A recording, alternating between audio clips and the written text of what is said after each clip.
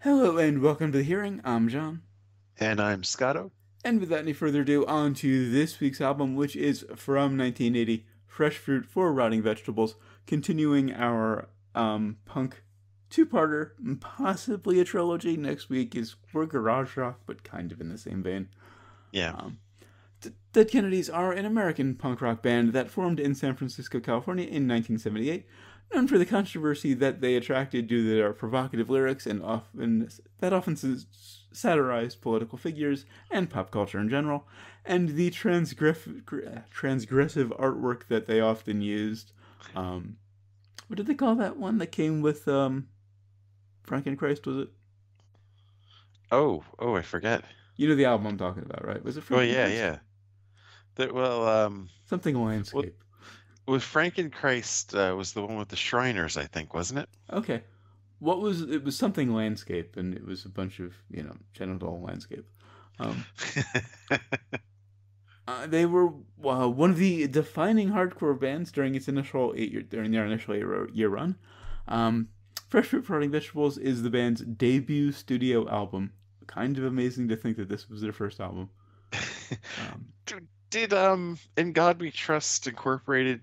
Was that? I mean, that was an EP, but I th- I always wondered if that actually predated no, this or not. according to Wikipedia, this was first. Yeah. This was their first out of the gate thing. Um, and it's the only album to feature drummer Bruce, Bruce Schlesinger, better known as Ted, and guitarist Carlos Cadona, better known as, as uh, 6025.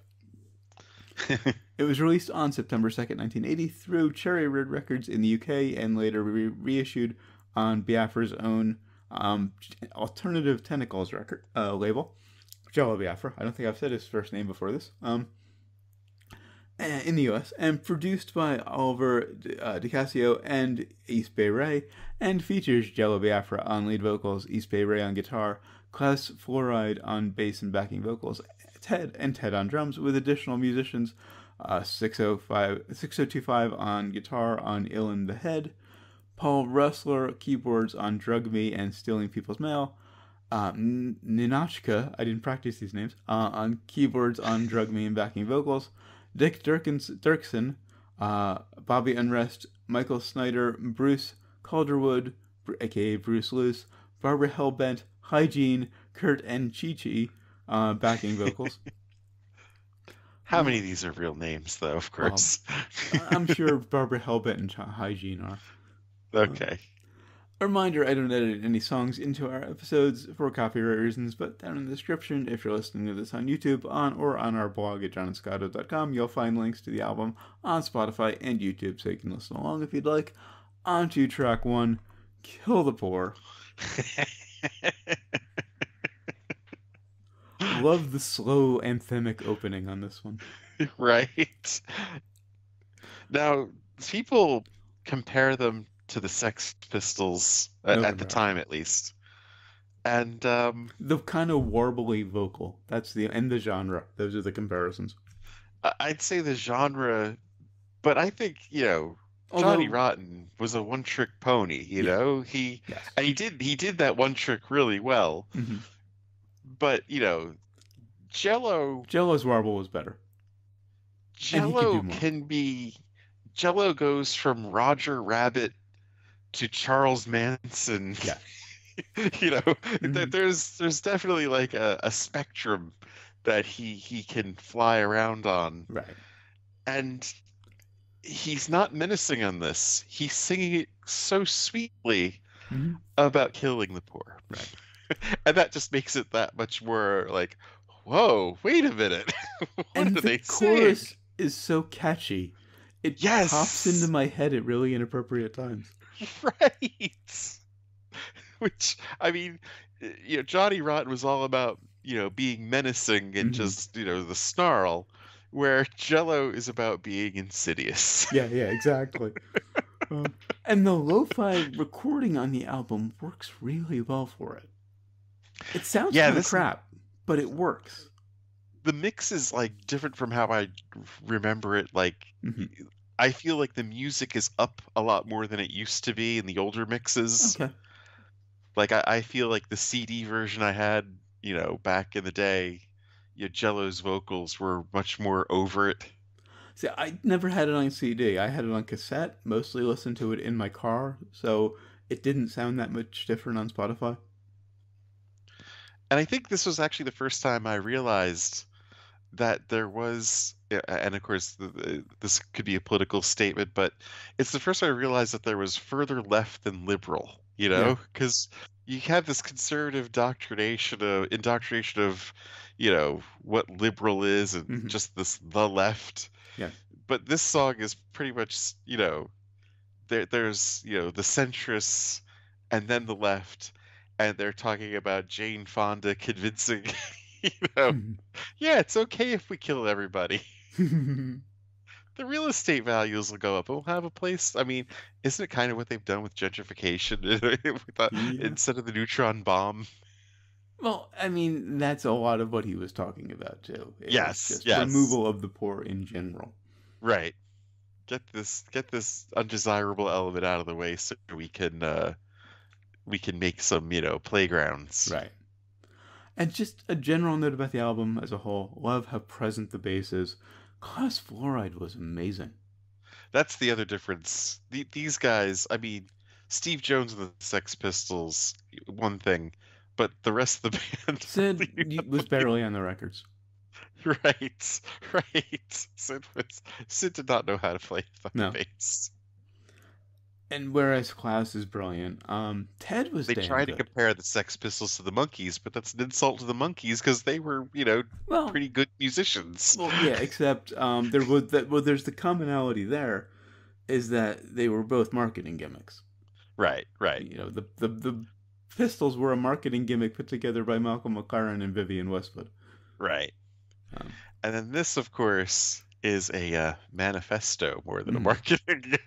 yeah, yeah. On to track two, Forward to Death.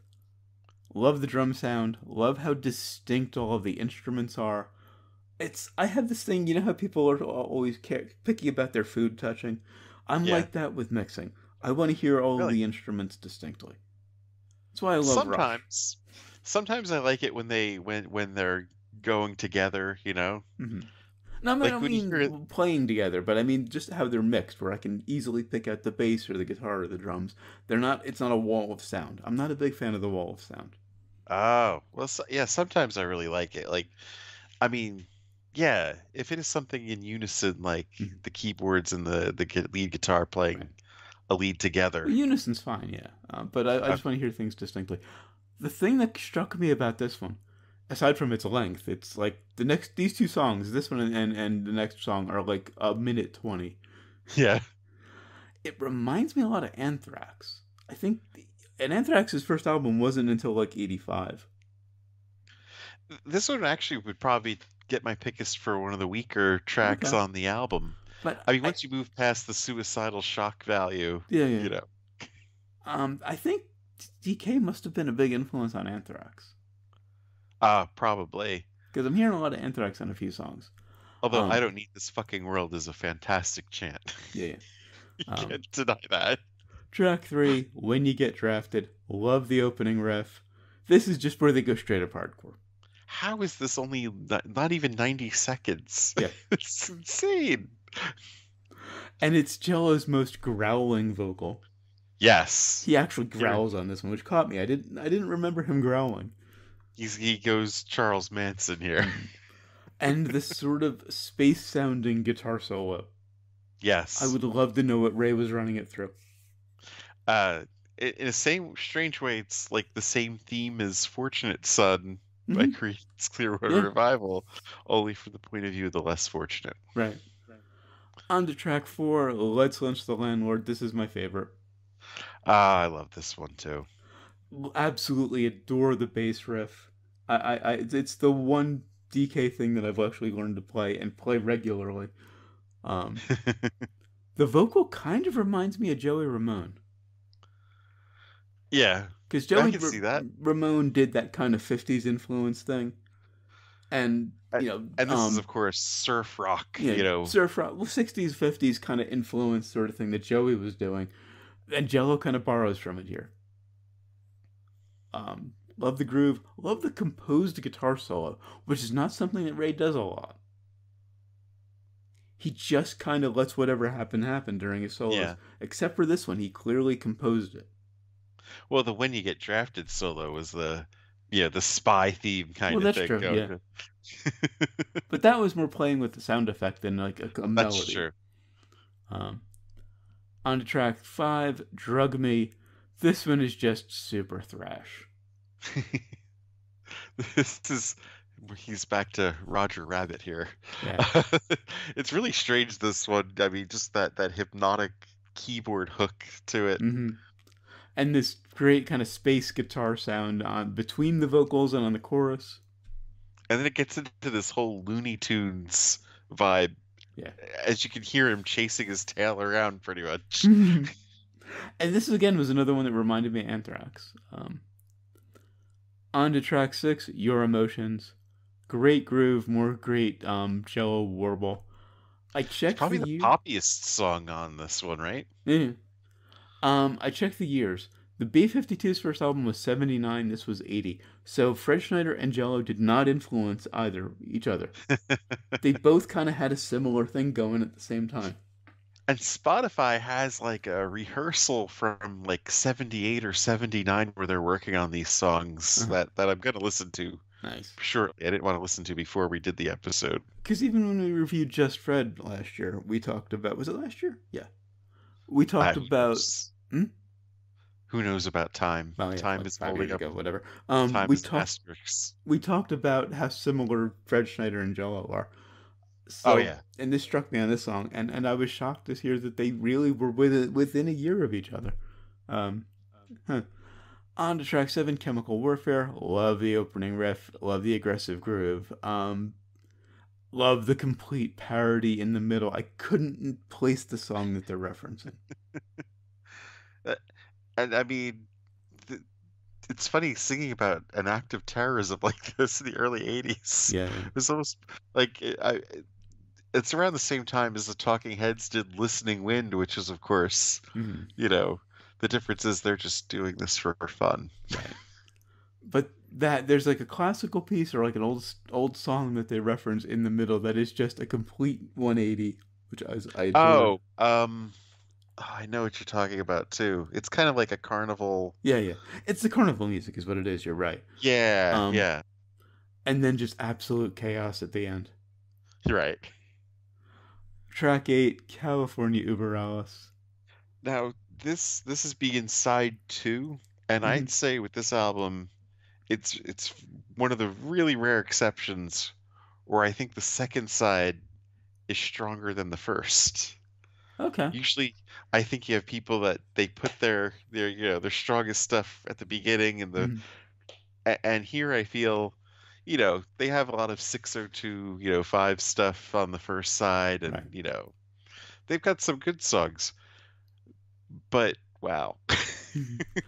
The lyrics for this one were written by Jello and John Greenway for their band The Healers. Jello composed the music in one of his rare attempts at composing on bass. So it was written on a bass, sounds like it. Love the bass line. Um, great guitar sound. I love the sort of stabbing chords in the first verse and how it this second verse really just picks up the pace, and then how it slows down to this menace in the in the bridge. Right. Have you heard the uh the In God We Trust version? No, Where it's about Reagan? no, I haven't. Ooh, He he's straight up just yelling Nice. This this is kind of you know, they're kind of, you know, tongue in cheek here, you know, this about is a joke. Nobody really Nazis. thinks that. Oh, you know, um, Brown is going to do this. Reagan, on the other hand, yeah, where and of course it got covered by the disposable heroes of Hiphoprisy later on, Mm. rapping about Pete Wilson. and the way it picks up after it slows down to that menace that just gradually picks up. People talk a lot about "Come On Eileen," Eileen and how that kind of picks up in the middle. This is a Yeah. much smoother way of doing it. Wow, smoother, uh, and you wouldn't expect them to be smoother. No, because "Come On Eileen," it's a little jagged the way they pick that up. This Yeah. just gradually picks up into just chaos. Yeah. organic poison gas. and then this great machine gun riff at the end. Now, before we get to this next story, next one, little story. Um, Yeah. back in mid '90s, um, early maybe mid early '90s, driving home from uh, college, OCC, the community college we both went to, where we met. Um, there was a Toys R Us on the way home, and I, I like toy stores. I'm an overgrown kid. So on the way home, I decide to stop into Toys R Us, listening to this album in my car. What song should happen to kick in the very fucking second I pull into the Toys R Us parking lot? Track 9, I Kill Children. I remember just telling someone the title of this song, and it just it just blew them away that someone could go here. Yeah. Just think about pulling into a toy store with, and you know, of course, I'm in my 20, early 20s, so I have it, you know, blasting so you can clearly Yeah, hear it on yeah. the outside of the car. and I Kill Children kicks in. It's uh, definitely the most psychotic piece on the whole album. Um, I gotta say, this is my pick for weakest. oh yeah, It's just kind of boring shock value now. I you know, I don't think it's. I mean, it still holds its shock value. I think no one. I mean, who's gone here since this? Oh yeah, but it's it doesn't really say anything. Like even like drug me and kill the poor is a lot of shock value, but it makes a point. Yeah, This doesn't make a point. he just doesn't like kids. Hmm. It's just Wait, shock for shock's sake. I do like the nice little bass groove in the middle. Um, oh man, and then like everyone to die? Of course you have for it. Just like. Uh, I love how it's. I mean, it's not just that they're saying it; it's that he really breaks it down. Yeah, yeah. like what he wants to do. right. On to track ten, stealing people's mail. the music is just this great riff on like early rock and roll and blues. This is like a Weird Al parody of themselves. It feels like Yeah, yeah. Um, it's hilarious, of course. yeah, there's a great single note riff in the pre-chorus. Love the sound of the solo, and it's just this kind of like fun, straight up rock and roll thing about literally stealing people's mail. yes, that's what they're doing for kicks. Reminds they're me of to Caught steal Stealing. your mail. I think James yeah, ripped them yeah, off it is. bit. It, at least in concept. But uh, eh, this, of course, is more personal because Yeah. it's not just stealing from some store. Right. It's They're going to get pictures of your kids and, Yeah. you know, cut off, you know, ties with your family and Mm. just laugh at your letters. Mm. On to track 11, Funland at the Beach. Love the great uh, opening riff. Um, and Jello gets very aggressive on this one. Oh, yeah. Yeah, in case you missed I Kill Children, they, they double down Yeah. More shock value. detail. However, it's kind of an indictment on capitalism, isn't Yeah, it? yeah. Like money over safety. Right. Just like, ah, so, you know, so some kids died, but, you know, just, you know, consult your lawyer and you'll you'll get some money back. Well, and that that's kind of my point with that Kill Children. Because Jello does go dark. But Jello Yeah. usually goes dark for a point. You that know? was kicks. It, it, it, Children was just dark for dark's sake. At least in this Yeah. one, even you know he goes dark. He goes shock value, but it makes a point. Yeah. Um, nice short solo. Ray doesn't solo him often, but I like how he when he does, he he makes it worth it. Um, track twelve, "Ill in the Head," great chaotic opening. Love the kind of off kilter riff between the vocals. Um, It's pretty much the same song as Forward to Death, except in a lot I of like- ways, yeah. I like this one better because I mean he doesn't have the the I don't need this fucking world, but I just think it comes together as a song better. Yeah. Um, I love how it slows and gets even weirder in the chorus. The end gets kind of proggy, Oh yeah. which is not something I thought I'd ever say about DK. Well, I mean for them this is uh, quite a long song at two minutes and forty six True, true. seconds. Not the longest though. Um, I think that's No, California Barrels. Um, on to track 13, Holiday Nah, in This is Cambodia. the longest. This is the longest? This is four and a half minutes. Okay, it was this one. I don't know if it was this one or California Over. Okay. Um, the use of the N word doesn't age well. uh, that came up when um, I think it was uh, Serj uh, Thank you. and Dave Grohl Yeah. uh, covered this, Okay. uh, and he just he changed it to "How the Brothers Feel Cold." Okay. But of course, the point of the song is that it's some asshole who's bragging, Right. You Mhm. know, he would use that word Right. while he's bragging about how. That's the point of the lyric Right. is that he's using that word while he's bragging about how he knows their experience. Right. Yeah. The, the, the character in the song. Yeah. Um, love the kind of avant-garde be- guitar at the beginning. He's just oh yeah. Ray is just making noise, but he's doing it in a really interesting way. Ray, This whole song is just this crazy atmospheric thing of tension, Mm. you know? and, and Ray's guitar work is fascinating because it's simple, but it's incredibly well thought out. Right. Oh yeah, especially in this song. This this, this is a masterpiece in a way for, you know, and it has to get my pick for strongest Mhm. uh track just because of it. It's just it, it it's so much tension and so much with with the political statement too, of course, Yeah. but also being like these assholes should just be sent to Uh-huh. Cambodia. And who was it I thought Ray was? Like, I, I had a theory back in the day that Ray turned into, was it uh, I had a theory. I had a theory that Ray was was Al Jourgensen. Okay, it was your theory. Okay. Um, because they wound up, you know, working together on Lard, mhm. but uh, you know, Ray is a different person Yeah. apparently. Um, but his his playing is, is just fascinating because it's simple but incredibly well thought out. Um, He could be a better guitar player than Al, yeah. Oh, he is. for all I know. Um, Yeah. Al's not a great guitar player. Um, on to track 14, the closer, Viva Las Vegas. Yes, it is an Elvis cover. Um, Elvis kind of So- works better as punk. You had the uh, the climax in Holiday in Cambodia. hmm And You get the denouement. in uh, Viva Las Vegas. I love how loud the bass is. Elvis kind of works better as punk. That's really all I have to say about it. Uh, you know, it's it's they just turned something innocent into something sub- subversive, which is what they're all about. Yeah, yeah. There's a little bit of a change in the lyrics and something about Coke at the end. yeah, because I mean, there is Vegas of just being this debauchery and just well, what else is going on there? You Well, know? it's Elvis. Yeah, that's know, true. So they had to reference him.